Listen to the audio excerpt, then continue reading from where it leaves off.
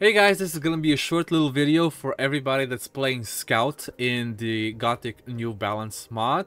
If you've learned sneaking, master sneaking, and then invisibility, this might come in handy, okay? Somebody asked me, well, how do you plan to go through the hordes of orcs, right?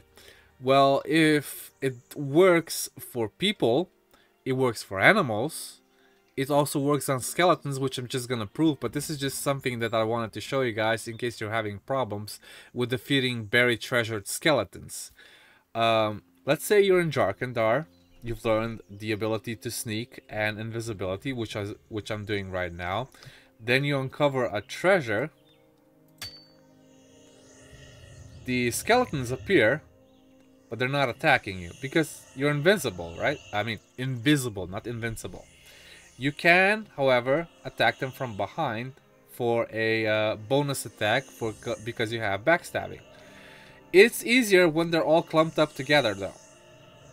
The problem with this is you're gonna attack me separately, but this is the point that I'm just I'm just standing here in front of him and I'm invisible. He's not attacking me. As soon as you pull out your weapon and attack them, you're not invisible anymore and your backstabbing disappears and the disappearance is on cooldown. So that's it. So you can basically go through hordes of orcs, hordes of skeletons, and anything else as long as the invisibility thing is on.